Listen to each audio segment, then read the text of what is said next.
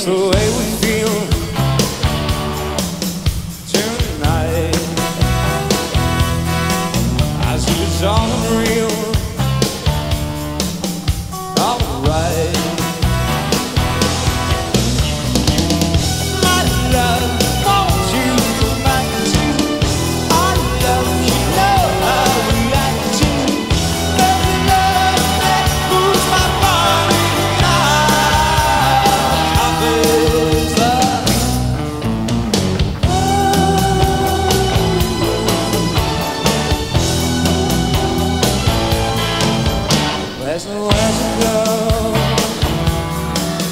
tonight.